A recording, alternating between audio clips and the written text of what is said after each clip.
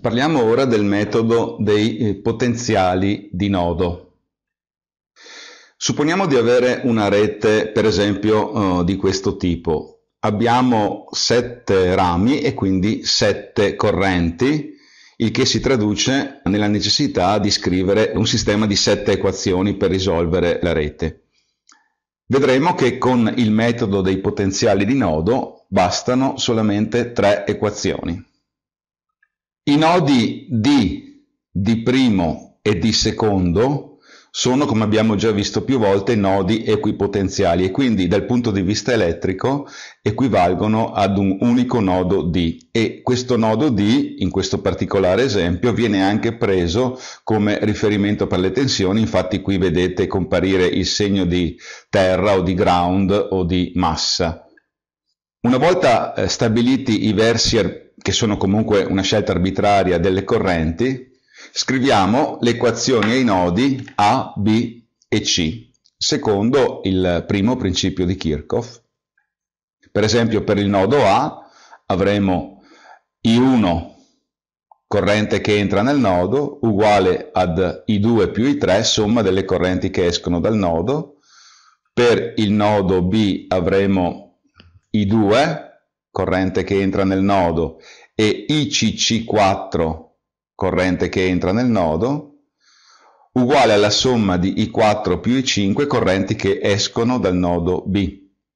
E ancora, per il nodo C, avremo la corrente I5 che entra nel nodo, e le correnti I7 e I6 che escono, quindi I5 uguale I6 più I7. Abbiamo semplicemente fin qui applicato il primo principio di Kirchhoff. Ora applichiamo la legge di Ohm generalizzata per i vari rami per esempio potremmo scrivere che UAD, la tensione tra A e D, è data seguendo eh, questo bipolo E1 da E1 meno R1 I1, in base alle convenzioni dei segni che abbiamo più volte visto, e quindi da questa equazione ricavare la I1 e otterremo I1 uguale E1 meno UAD fratto R1. E così procediamo per gli altri rami. I2 eh, la legge di Ohm è molto semplice perché UAB fratto R2 ci dà immediatamente l'espressione della corrente per quanto riguarda la I2. Passiamo adesso alla I3, anche I3 è semplice, UAD fratto R3, non c'è nessun problema. I4 è data da UBD fratto R4. I5 da UBC, differenza di potenziale tra B e C, fratto R5, notate che i segni sono positivi perché le correnti evidentemente come in questo caso va da B a C, quindi è da considerarsi positiva, l'abbiamo più volte ricordato questo aspetto. UCD è uguale, secondo le convenzioni dei segni, a meno E6 più R6 I6.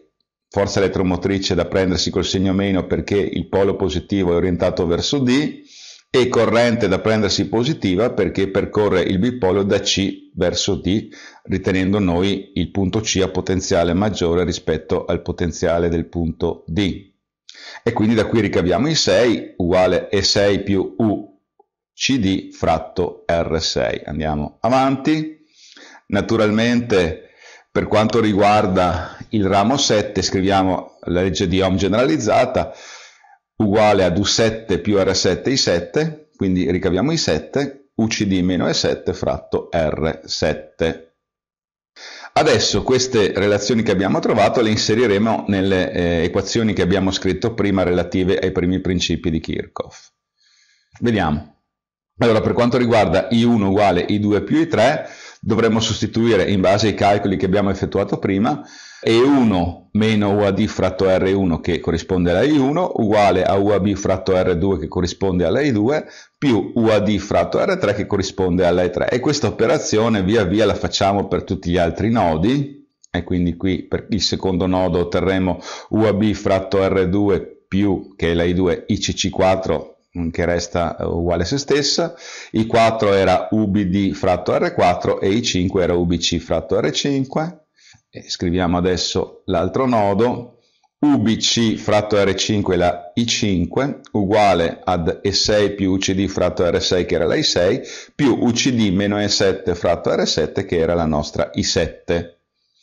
Possiamo anche esprimere le stesse equazioni, le tre equazioni, questa, questa e questa, mediante le conduttanze che ricordiamo sono i reciproci delle resistenze, per esempio G è uguale a 1 diviso R, e quindi scriveremo nel caso della prima separando anche eh, le, la frazione G1 e 1 meno G1 UAD uguale a G2 AB più G3 UAD per la seconda equazione scriveremo G2 UAB ICC4 resta uguale a G4 UBD più G5 UBC e per la terza scriveremo G5 UBC uguale a G6 e 6 più G6 UCD più G7 UCD e meno infine G7 e 7. Adesso scriviamo le differenze di potenziale e scriveremo che UAD è uguale ad UA meno UD Ovviamente questa scrittura implica che si consideri un certo potenziale di riferimento, per esempio posto a terra o posto all'infinito rispetto alla, al sistema elettrico che stiamo considerando. Possiamo sempre dire che rispetto ad uno stesso sistema di riferimento, come abbiamo del resto detto in una delle prime lezioni, UAD è data dalla differenza dei potenziali del nodo A meno la differenza del potenziale del nodo D rispetto ad uno stesso sistema di riferimento. Così scriveremo UAB uguale ad UA meno UB e ancora UBC uguale UB meno UC, UBD è uguale a UB meno UD, UCD uguale UC meno UD.